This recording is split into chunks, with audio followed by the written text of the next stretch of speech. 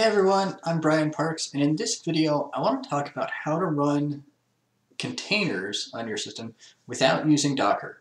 Uh, now, lots of people have talked about uh, Docker and why it's maybe a security issue or they just don't like it or you know lots of different things. Um, but in this video we're going to talk about Podman uh, which is an alternative to Docker when it comes to running on your local machine, on a development machine. There are lots of reasons why Podman is awesome. Uh, there are plenty of talks out there. Uh, I'll link at least one of them down in the description below if you want to check that out. That's actually what got me into Podman. Um, but one interesting thing is that the history of containers actually starts a long time before uh, Docker, and Docker actually built on some of those other technologies. Uh, Podman also built on those technologies. Uh, so both Docker and Podman are basically compatible with the same sort of containers. Uh, they're now called OCI containers. Uh, they're Open Container Initiative, uh, containers and images. so one of the nice things about Podman is that if you wanted to, you could actually alias the term Docker in your shell to Podman, and most, the vast majority of the commands would actually work exactly the same. Uh, and that, that's pretty cool. Uh, I didn't do that. I'm going to be running Podman from the command line uh, as the Podman command just for demonstration. But if you're used to typing Docker all the time and you want to alias Docker to Podman, go for it. So the first thing you're going to want to do is you're going to want to grab a copy of Podman. Um, let me make sure I'm showing the screen. Yeah, there we go. Okay, so the first thing you're, you're going to want to do is to grab a copy of Podman. Um, and uh, to do that, you go to podman.io, uh, and then you can, I think I clicked a download link to get to this, uh, maybe this get started link. Um, I'm running on Windows, so I'm going to show, um, there are actually a different, a couple different ways you can use it on Windows. Either you can connect to uh, Podman running on Linux on another machine or in a VM. I'm going to show how to use it with Windows Subsystem for Linux 2. And it does has, have to be WSL2. Uh, the way the kernel works in WSL2 is different from the way it works in the first version of WSL. Uh, and WSL1 very much does not work with either Docker or Podman. Um, I tried both uh, while I was prepping for this video. Neither of them worked, so don't even try it. You do need to make sure that you're using WSL2. And the way you can do that is, here, let me bump uh, this font up a little bit.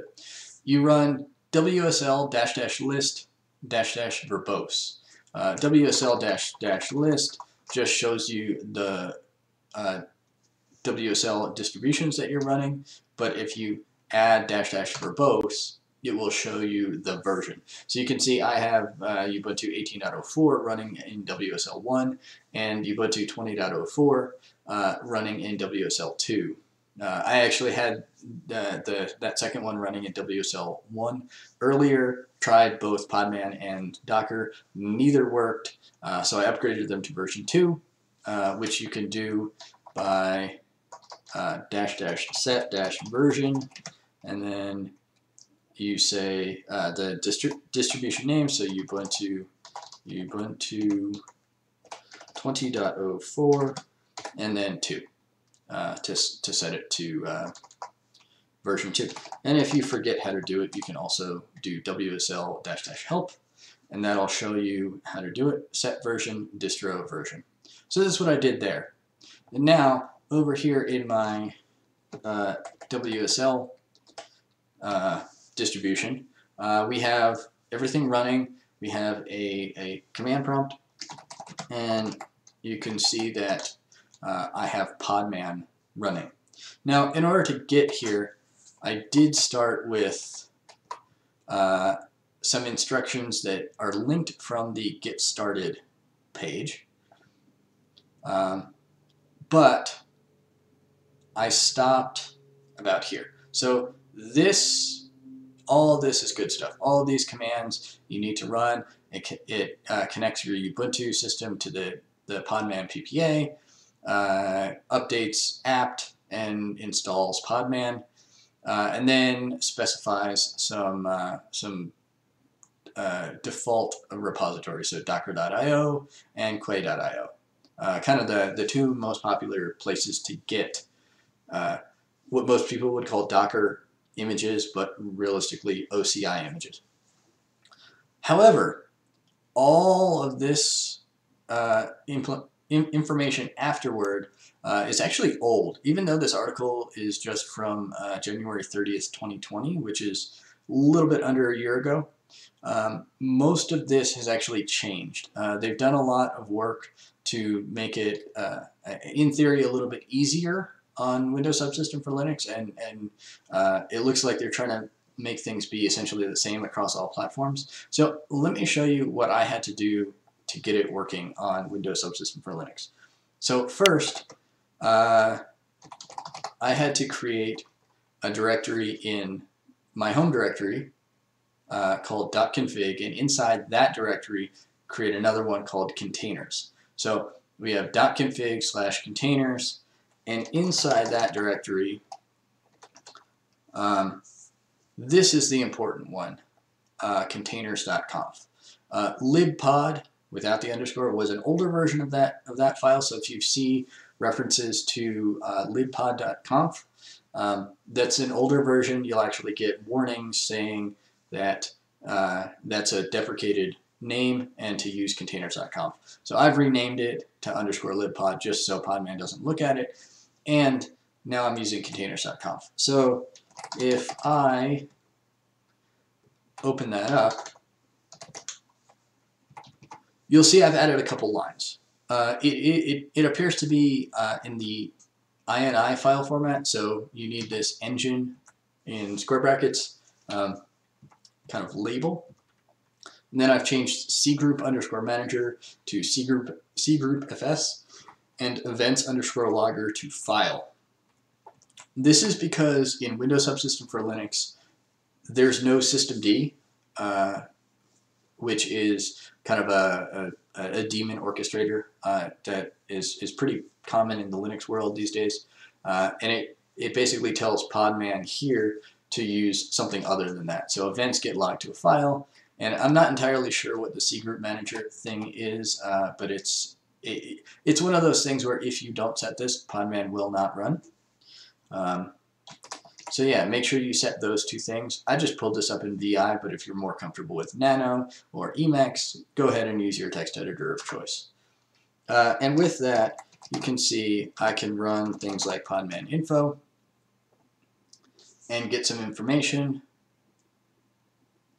Uh, and let's actually use Podman. So uh, first, let's let's do podman ps dash dash all Again, just like Docker. So what would you check to see what's running or what's available or what you know what what uh, containers you've run on your system with Docker? You do Docker ps dash dash all.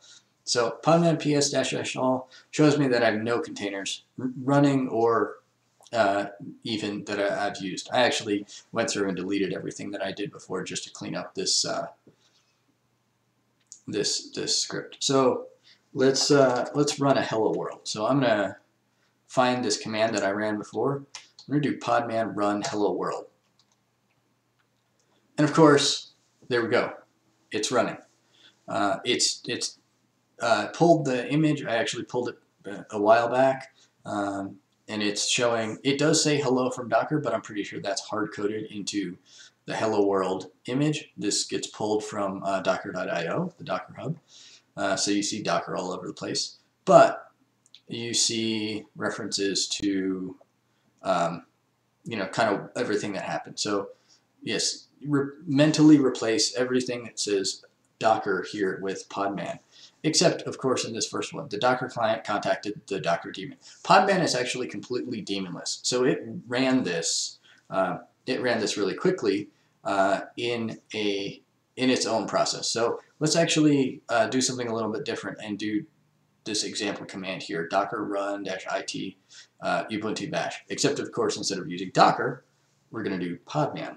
So podman run dash it ubuntu bash. So again, I also have the Ubuntu image locally, so it doesn't have to pull anything down, but it spins up a new container with that Ubuntu image and gives me a root uh, prompt.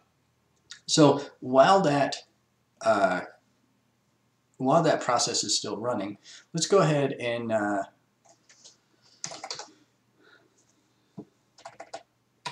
uh, see what's going on there. So we do ps-ef. We'll actually see everything that's running in WSL. Uh, obviously, a lot less than a um, than a Linux machine. But notice that nothing related to Podman is running as root. Everything is running as my user, bparks. Podman run IT Ubuntu bash, same thing here. Uh, this is some other stuff related to Podman. Um, with Docker, you would have the Docker daemon that's running as usually root or some privileged user. And then you'd have the, the Docker client, the, the CLI um, program that runs as your own user, and they talk through the, the Docker socket, which needs to be uh, exposed to anyone who who needs to use Docker. So it's basically a way for your unprivileged user to talk directly to the Docker daemon, um, and th that's kind of the root of everybody who says that Docker is insecure. That's the root of their complaints. Uh, that that whole relationship. Podman is completely daemonless. Podman clearly is running this this um, this container as my user. So that's pretty cool. Uh, this also means that I don't need sudo. I didn't need sudo uh, to, well, I guess I need, did need sudo to install Podman originally, um, just so it's available on the entire system. But after that, I don't need to add my user to any groups. I don't need to do any of that. I can just run Podman directly, and uh, I can be a completely unprivileged user and still run Podman completely successfully, which I think is pretty cool. Uh, that's I, I, like that. That even with the the other security things, you know, there are some people who really care about that. Um, there are definitely ways to defend against that. But for me, the ability to run everything related to the container as my user just feels a lot cleaner. It feels a lot lighter weight. Um, and uh, if we actually pull up you know, let's, just for fun, let's pull up Task Manager and look at performance. So you will see that there's some CPU usage um, and some GPU usage just because I'm currently recording this um, and I also have a bunch of other programs open. Um, but you'll notice that it there really isn't a whole lot of CPU usage going on and realistically I'm just running a shell. But it's still super lightweight even lighter weight than if, if I were running this in Docker. Um, there's a lot less going on. I, I think that's pretty cool. So with that, uh, let's do Control D, and now let's do podman uh, ps dash dash all again. And of course, it'll show um, the hello world and the Ubuntu, uh, the two uh, containers that I was running. And that's basically it. Uh, the one other thing that I want to add is that uh, I'm running Windows 10 Home. Uh, Windows 10 Home cannot install Hyper-V, which until recently was required to run Docker on your machine. However, Windows 10 Home can run Windows Subsystem for Linux, and I have been running Windows Subsystem for Linux basically since I got this machine. Um, Podman, I can install that in Windows Subsystem for Linux and run containers on Windows Subsystem for Linux right there. It's super lightweight, um, and I don't have the whole Docker infrastructure that I need I need to download if I wanted to run Docker for Windows.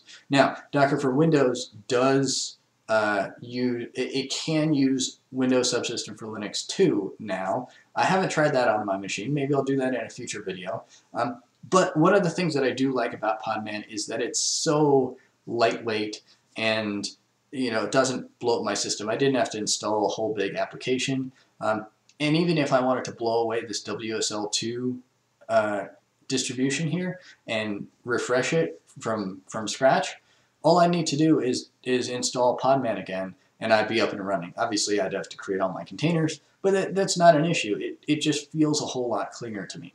So with that, I hope that gave you a good look at uh, how uh, Podman can work in WSL2. Now you can run containers on Windows, well, anywhere, but I, I showed on Windows, um, without using Docker at all. Podman's pretty cool. Uh, there are definitely other things in uh, kind of the non-Docker ecosystem that work with OCI containers and images. Um, and the, the, the video that I'll link in the description that got me into Podman actually talks about some of those things. It's from a couple of years back, so those projects were in their early stages, uh, but now they are definitely more mature and they're being used all over the place. Uh, you may have seen the news that uh, Kubernetes, uh, well, it was sensationalized as Kubernetes is dropping Docker. Um, that's kind of overblown and go check out those videos. Uh, there's some there, there's real stuff going on over there. Uh, Kubernetes is moving to some of these other execution environments um, which is cool because again they're a lot cleaner. They don't have that that uh, privileged socket issue uh, that that some people are, uh, are are definitely concerned about.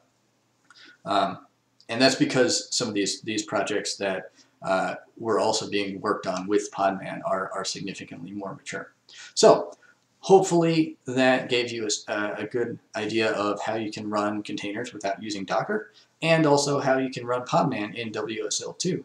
Uh, I'll probably be doing more with this and uh, you know maybe I'll give you an update on, on how my journey is going with Podman in a future video. Thanks for watching. Be sure to subscribe, like this video if you enjoyed it, and I hope to see you in the next video. Thanks for watching.